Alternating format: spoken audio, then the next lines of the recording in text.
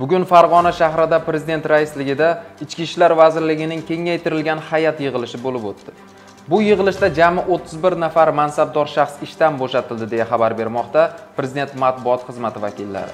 Kengaytirilgan yig'ilishda toshkent shahar sergeli yangi hayot va shayxontohur tumani buxoro viloyati g'ijduvon va kogon tumanlari xorazm viloyati tuproq qal'a va taxtako'pir tumanlari shuningdek tomdi yakkabog' oltinsoy zafarobod bayovut guliston mingbuloq oltinko'l tumanlari ichki ishlar boshliqlari andijon bandixon buvayda narpay yunusobod rishton tumanlari prokurorlari egallab turgan lavozimlardan ozod etildi. Yig'ilishda respublika bosh prokurorining birinchi o'rinbosari valiyev ichki ishlar vazirining birinchi o'rinbosari rahmonovga hayfsan e'lon qilindi. Ular jinoyatchilikni jilovlash va aholi bilan ishlashda sustkashlikka yo'l qo'yganligi uchun hayfsan jazosini olishdi va 3 oy sinov muddati tayinlandi. Prezidentimiz yig'ilishda alohida yo'l harakati xavfsizligini ta'minlash borasidagi ishlar ahvolidan xalqimiz mutlaqo noroziligini ta'kidlab o'tgan 6 oyning o'zida 4 mingga yaqin avtohalokatlar sodir etilganligi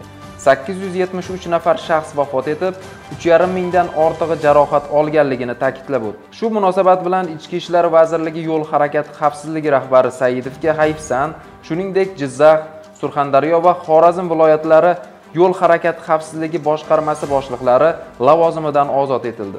Jumladan prezident yo'l muammosiga alohida to'xtalib, endi yo'ldagi dislokatsiya tushunchasidan voz kechilib, barcha yo'l patrul xizmati xodimlari uchun mahallalarni qamrab oluvchi javobgarlik hududi belgilab qo'yilishini ta'kidladi.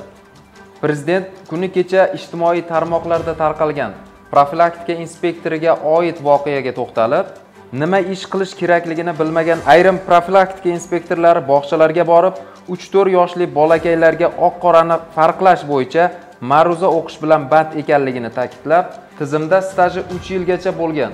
Endi tajriba to'playotgan profilaktik inspektorlarni kriminogen og'ir mahallaga qo'yish amaliyoti haligacha davom etayotganligini, aksincha yaxshi mahallalarda esa ko'p yillik tajribasi bor xodimlar xizmat qilayotganligini aytib, tanqid qildi.